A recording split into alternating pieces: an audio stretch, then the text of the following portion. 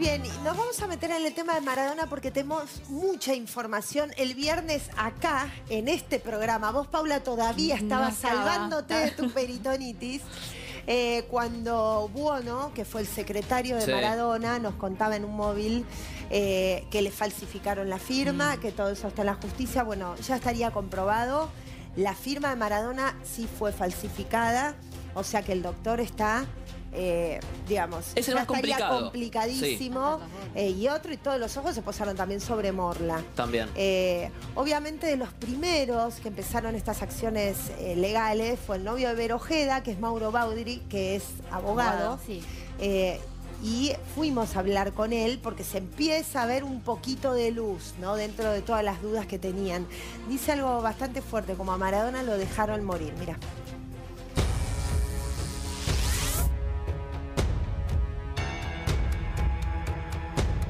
Yo, a mí, la única persona que me llamó fue los abogados de Magalí.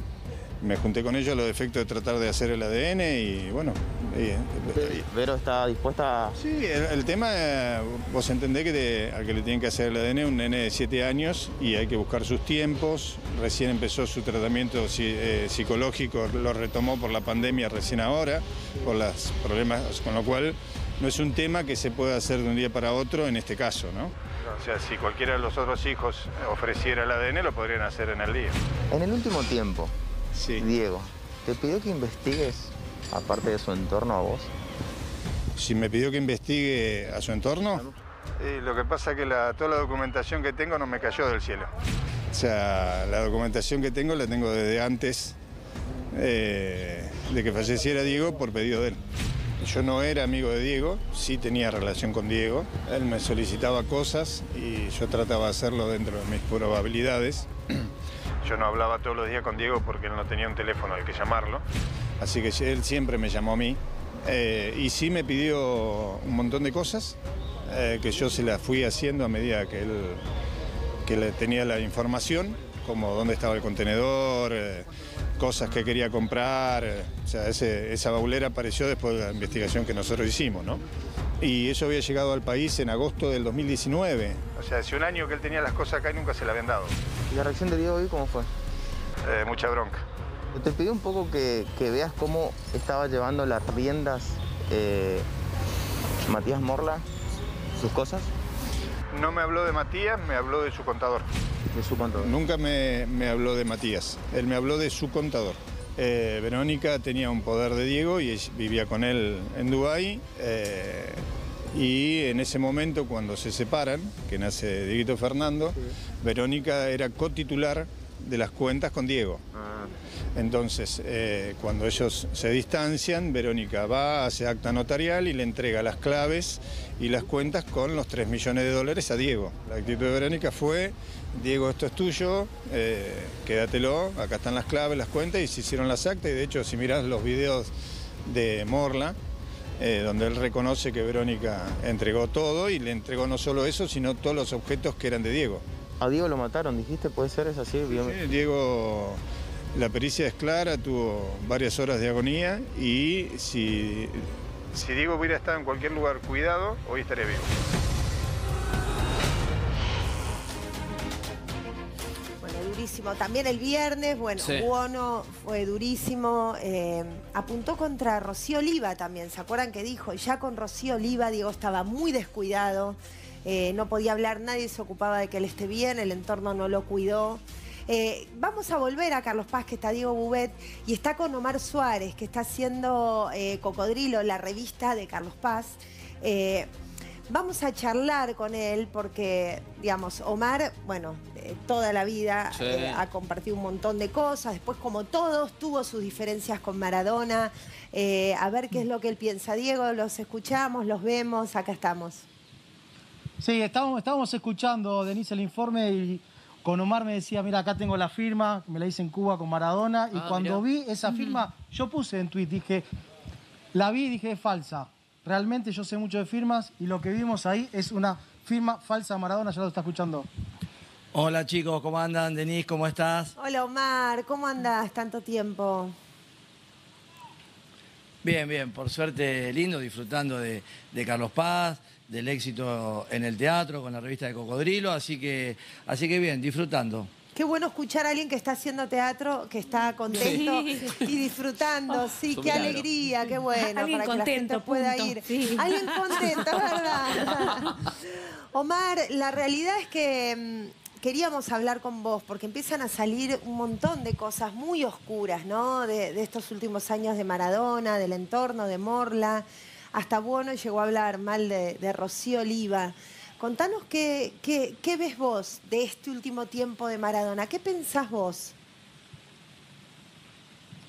Mirá, yo dije, puse en Twitter hace, hace una semana, un poco más, cuando empecé a ver que mostraban en distintos programas eh, los documentos supuestamente firmados por Diego al doctor Luque, eh, apenas vi esa firma dije, no, esto es una, una paparruchada porque no, no se asemeja en nada a lo que era la firma, la firma de Diego. Eh, uno que estuvo tanto tiempo al lado de él y lo he visto firmar centenares de cosas, hasta sabía yo de qué manera, yo, vos me pones una firma y donde dice Diego abajo, yo te digo si lo escribió él o no lo escribió él. Él tenía una forma muy particular de hacer la letra E, por ejemplo. Pero cuando vos lo conocías, de abajo para arriba. Ah, porque nos han dicho que había quienes firmaban por él, por ahí no documentos importantes, ¿no? Pero las camisetas, las pelotas, había gente de su entorno que sabía la firma y la firmaba. Sí, pero a veces, a veces eran, cosas, Diego, por ejemplo, a veces le dejaban 50, 60 camisetas para, para firmar.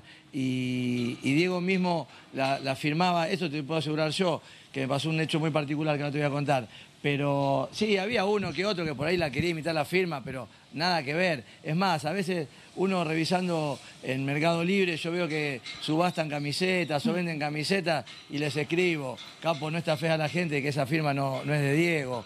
pero como el, en esas cosas. El justiciero.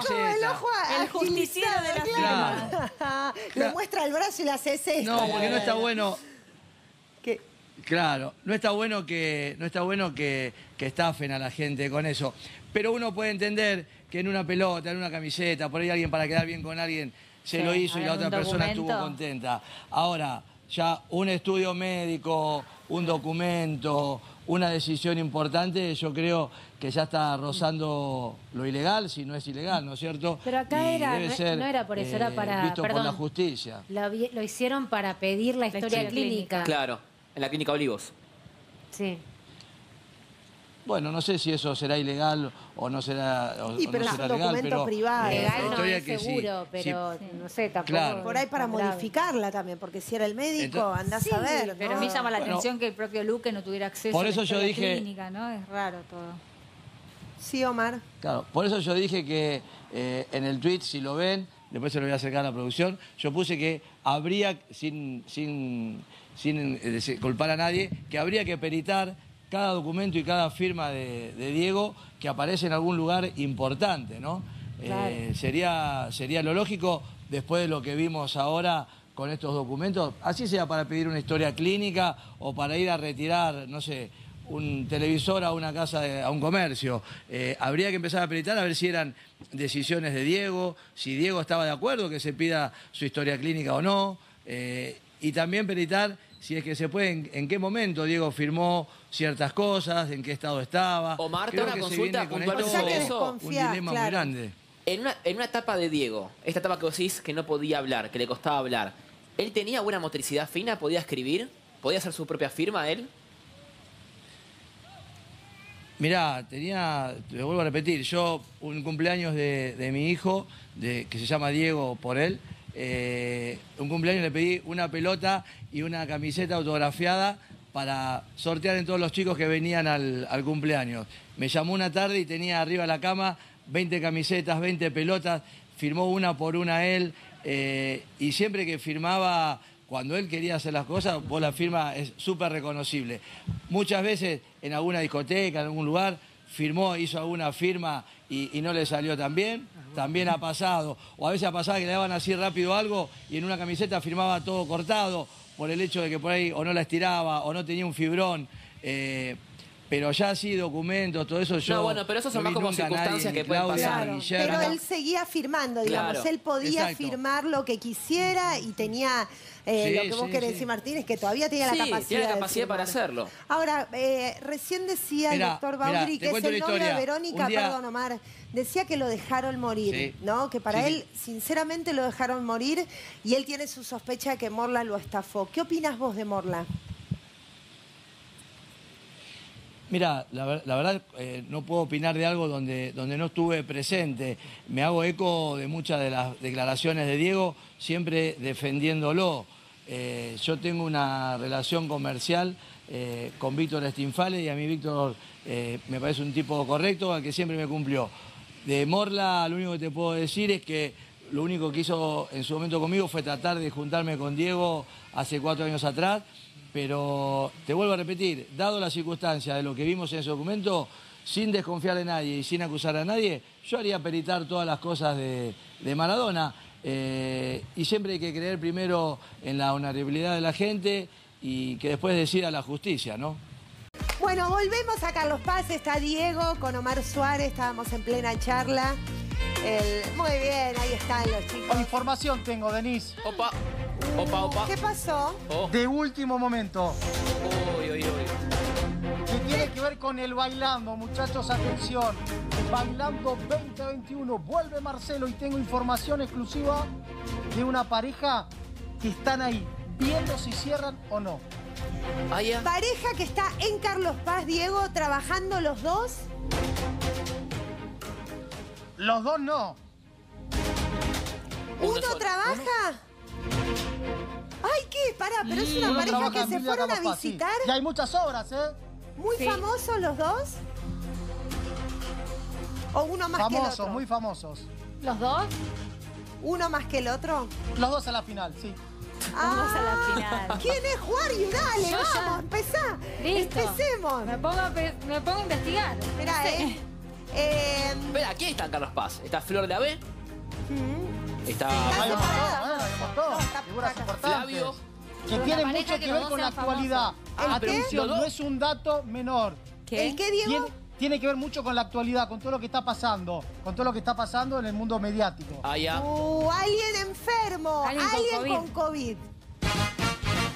Uh, mundo mediático, perdón, pero ¿Eh? mediático más por otro lado. ¿Caso Maradona? Por otro lado. ¿Caso Maradona? Ah, no. Ah, Verónica Ojeda. Verónica. Ah, Verónica Ojeda y el abogado. No, Dalma. Dalma, Dalma tiene novio. Está casada, está casada Dalma. Dalma dijo que no a un reality de cocina y también dijo que no. Ay, no, Dalma me confundí, no, pará. ¿Están acá los dos ahora? Verónica Ojeda. Hanna. Pero están en Carlos Paz, Verónica, para mí es Verónica. ¿Cómo, cómo, cómo? Hanna no, Hanna no es, Hanna no es. Estamos hablando que, escuchen con atención, que un productor llamó a una de las partes, una de las partes dijo, me gusta la idea, no tendría problema de hacerlo, voy a ver bien el contrato, un par de requisitos, hay que ver qué dice la otra parte, yo no tengo problema y ahora se están comunicando con la otra parte, pero ya hay un 60% que estaría todo bien. ¿Pero es alguien que está en Carlos Paz? A una de las personas está en Carlos Paz, sí. Yo estoy perdida, Para mí una pareja que se la trae va a ser la pareja del bailando Pero ¿está en Carlos Paz el famoso o la pareja? Omar Suárez y la esposa. Esperen, vamos a hacer algo. vamos a charlar con ah. Omar. Y después, al final, Diego cierra dando la primicia de la mm. pareja confirmada que está cerquita al bailando. Em, bueno, Omar... está ahí, está ahí. Quedamos a mitad de, conversación, sabiendo un poco qué, qué opinabas de, de Morla. También la que ligó eh, por Buono fue Rocío. ¿Vos también opinás lo mismo? ¿Crees que después de Verónica, Diego estuvo muy descuidado con Rocío? Yo creo que tuvo distintas etapas con, Rocío. Eh, uno de los encuentros que, yo tuve, la última encuentro que tuve con Diego fue, fue organizado por Matías Morla y, y por Stinfale. Y la charla que yo tuve con Stinfale fue, mira, eh, la relación de Diego y de, y de Rocío depende de lo que vos hables y lo que vos le cuentes a Diego. Diego te quiere escuchar a vos en persona. Eh, esto fue hace cinco años atrás, más o menos, cuatro. Y yo le dije a Diego, la verdad de todo lo que había sucedido conmigo y con Rocío Oliva, y, y creo que ese momento Diego me creyó y ahí la relación de ellos empezó a mejorar, porque hasta ahí veníamos con una relación de Diego con Rocío de peleas, de mandar la presa, eh, de peleas en, en España, que hasta me han llamado de programas de, de Madrid para preguntarme, porque escuchaban en los pasillos del hotel los gritos de Maradona diciéndole a Rocío, vos salías con el de Cocodrilo, vos salías con y otras cosas que no se pueden reproducir, Ah, tu ¿no? Eh, nombre llegó hasta Dubái. Pero a partir de ahí creo que cambió la relación. Y yo creo que Rocío en algún momento le hizo, le hizo bien y, y en algún momento creo que le hizo, le hizo mal a, a Diego también esa, esa relación. ¿Por qué? ¿Qué- ¿En qué momento? Y vos fíjate que los últimos, los últimos tiempos, de por ahí Diego reclamando estar con, estar con Rocío, eh, Rocío ya alejada, y por dichos de, de gente allegada del entorno, eh, más conocido de Diego, que muchas veces Rocío le, le filtraba esas, esas reuniones, que a Diego le hacían bien, sus amigos a Diego le, le hacían bien, los amigos que del corazón estoy hablando, ¿no? ¿Le filtraban en qué Eh, sentido? Le hacían ¿Que bien, muchas veces ¿Le impedía lo- las reuniones? Le impedían las reuniones, sí, le impedían las reuniones, los llamados telefónicos. O sea, Eh, perdón, bueno, pará, porque el otro día los amigos de, de Diego sí. Decían que había un círculo íntimo a él que eh, lo hermetizaban. Era inaccesible Diego. Hasta que lo tenían dormido, dijo, ¿no? Hasta que Claro, estaba dopado. Claro, que estaba totalmente dormido. ¿Rocío era parte de ese, de ese Mirá, círculo eso- íntimo que hacían que Diego esté en ese estado? No sé si, no sé si en ese estado, no lo puedo decir porque no, yo no estuve yendo, eh, no tenía relación. Sí, muchos de los chicos que lo dicen eh, fueron a visitarlo a Diego, estuvieron con él y veían todas estas, estas situaciones. Eh, estoy hablando por boca de otros, ¿no es cierto? Pero ellos veían todas estas situaciones. Creo que fue la última, la última etapa de, de Diego con Rocío. Pero no dejo de reconocer que han tenido también buenos momentos. Fue una relación muy, muy cambiante con el correr de los, con el correr de los años, tanto de un lado como, como del otro. Por eso digo, creo que en una parte le hizo muy bien y creo que en otra por ahí le hizo, le hizo mal. Claro, el final. Ahora, por todo lo que, lo que se cuenta, por todo lo que se dice de lo que pasaba. Sí, fuera de esta situación extrema, ¿no? De que, bueno, se los acusa también de haberlo tenido casi dopado a, a Diego en cierto momento. Diego, era un tipo que se dejaba cuidar, porque muchas veces se habla, el entorno no lo cuidó, el entorno no lo cuidó, pero no era una persona eh, fácil, ¿no? Para, para ser cuidado. No se dejaba, me parece, ¿o sí? No, si vos, por ejemplo, cuando lo saludabas antes de irte, le decía, chao Diego, cuídate, te decía, cuídate vos. Eh, y después él, a ver, hubo distintos tipos de entornos. Yo- nosotros, eh, la, época, la época nuestra de, de Guillermo, el doctor Cae, Bono, Mariano, el turco, eh, el teléfono de él lo tenía él. Y vos lo llamabas y te atendía. Vos, mirá, me acuerdo el teléfono. Vos marcabas 4, 10, 10, 10 y Sí. te atendía Diego Maradona. Es genial que y si no te 4, quería 10. escuchar a vos, sí. te decía, Sí. "A- Claro. Está bien, bueno, pero Omar, ella fue te una de decía, las no me peores- llames más a este... Sí, fue una de sus peores épocas con la droga y no es que el entorno le decía no tome. Pero por lo menos tenía el teléfono. Eh, mirá, vos decís que fue una... porque nos. Vos estamos decís que fue- quedando sin tiempo y quisiera Pará. que invites a la gente al teatro. déjame, Sí. déjame decir esto chiquito. Sí, déjame decir esto chiquito.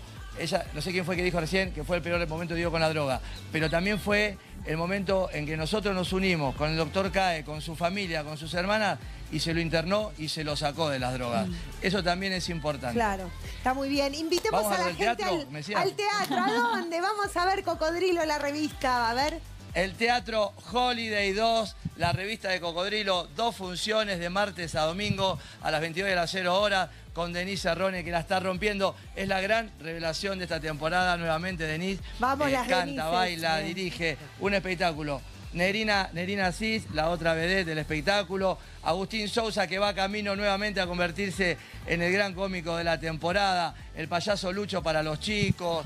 Charo Zamarone. Un elenco de bailarines corbeses. Mira, la Ahí estamos viendo a imágenes. Invitamos a la gente a que vaya, ¿eh? Que vayan. Nos quedamos sin tiempo. Diego, así nomás, gritanos el nombre de la pareja que fue tentada para el bailando. ¿Quiénes serían? ¡Cantado, Diego! Omar Suárez, Rocío Oliva. Fuertes aplausos. ¡Bomba! ¡Qué bomba, eh! ¡Juntos! ¿Son pareja? ¡No! No, me muero. Ahora ya lo llamo Marcelo a preguntarle.